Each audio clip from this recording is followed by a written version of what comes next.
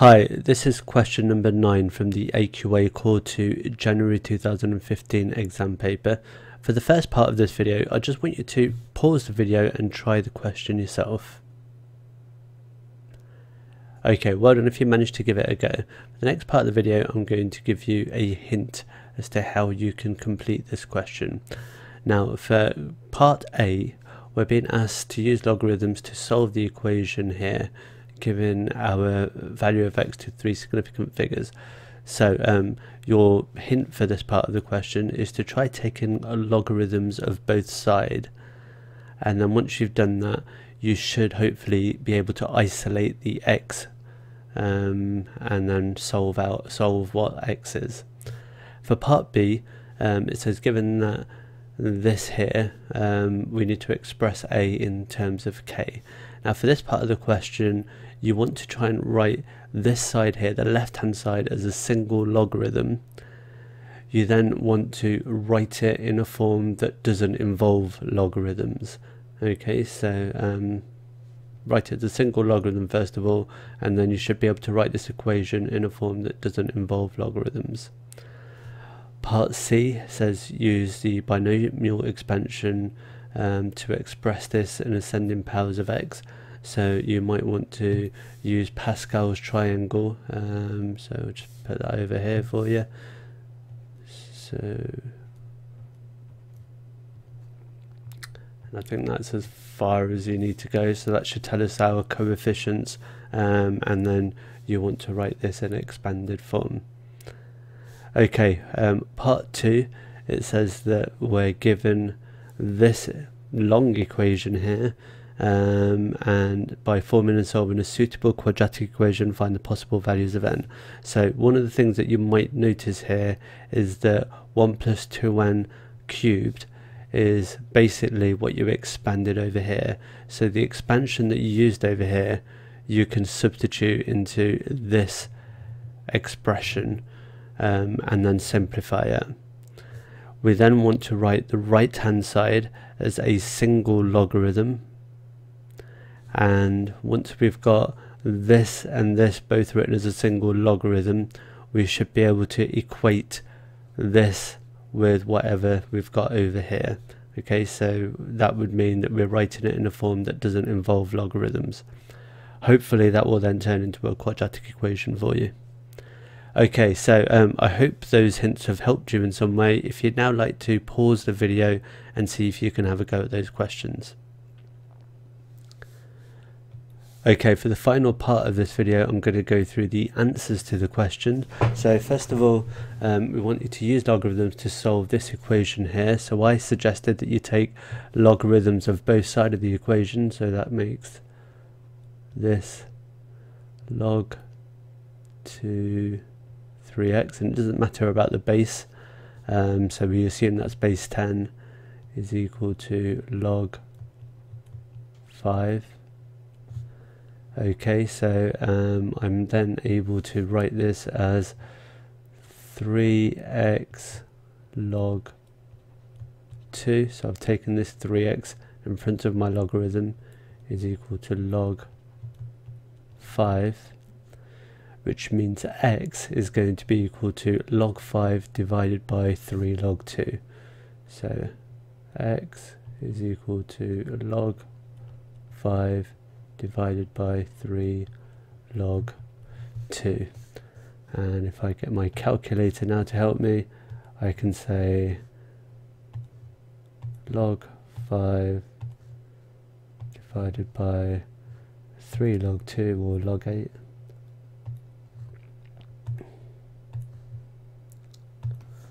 and that gives me 0 0.774 to three significant figures, so 0.774.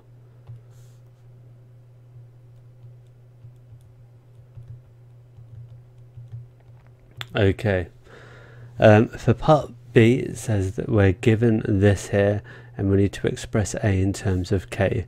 So I'm going to write this as a single um, logarithm first of all. So log k take away log 2 um, because we're subtracting the logarithm we can write that as k divided by 2 so I've got log a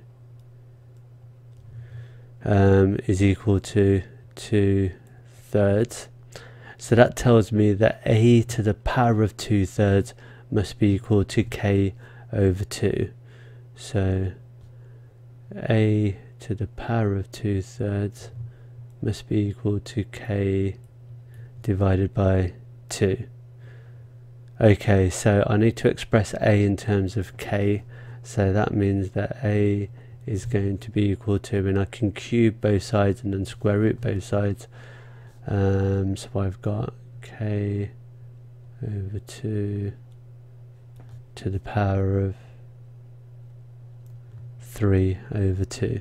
Okay, um, and that was that's fine for four marks.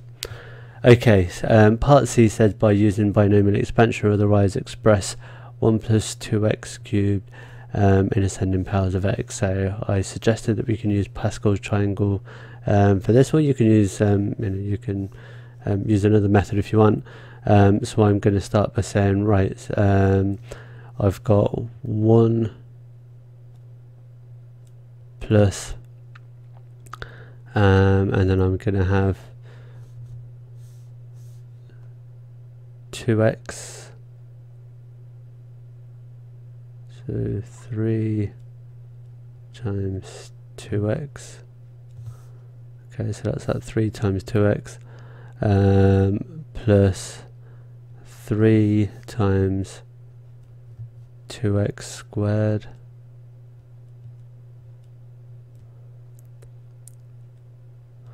plus 1 times 2x cubed.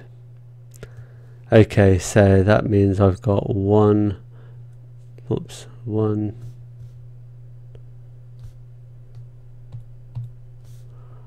one plus six x plus um, 4x squared times 3 which is 12x squared plus um, and that's going to be 8x cubed times 1 so that's going to be plus 8x cubed Okay, um, and that's in ascending powers of x. Good. Right, part two, it says um, we're given this here and we need to form a um, quadratic equation to find the values of n. So if I start by, well, I'm going to replace 1 plus 2n cubed with this in terms of n. So let's start by saying, right, I've got log 2, and this is going to be 1 plus 6n plus 12n squared plus 8n cubed take away 8n okay so that's that part is equal to and this is plus so I'm going to multiply these together so I'm going to have log 2 and that's going to be 4 times 1 plus 2n times 1 plus n squared. Okay, um, so I'm just going to tidy this up, so that's going to be a log 2, and that's going to be 1 take away 2n plus 12n squared plus 8n cubed. And that's equal to and if I expand this out I'm going to have um, 4 uh, 1 times n squared times 4 is plus 4n squared um, plus 8n and then we've got 2n cubed times 4 is 8n cubed. Okay, so um, this part must be equal to this part over here. So I could say 1 take away 2n plus 12n squared plus 8n cubed is equal to 4 plus 4n squared plus 8n plus 8n cubed. Okay, um, if I now simplify this, um, so I'm going to bring everything onto the left hand side. So let's start with our n squared term. Sorry, let's start with that n cubed term. So 8n cubed take away 8n cubed is going to be 0n cubed. I've got 12n squared take away 4n squared which gives me 8n squared. Um, I've then got negative 2n take away 8n which is going to be take away 10n um, I've then got 1 take away 4 which gives me take away 3 and that's everything so that equals 0 okay um, and this should factorize now so let's see if we can give that a go. I've got 4n and 2n to give me my 8n squared um, and I think that's going to be negative 3 plus 2 yeah so that's going to be negative 3 there and plus 1 there. So let's just check 8n squared take away 12n plus 2n which gives us take away 10n take away 3 and that equals 0 so therefore we've got um, 4n plus 1 equals 0 in which case n is equal to negative a quarter. Or we've got 2n take away 3 equals 0 in which case n is going to be equal to um, 3 over 2 okay so those are going to be our possible values of n Thanks very much for joining me. I hope that was useful and I'll see you next time.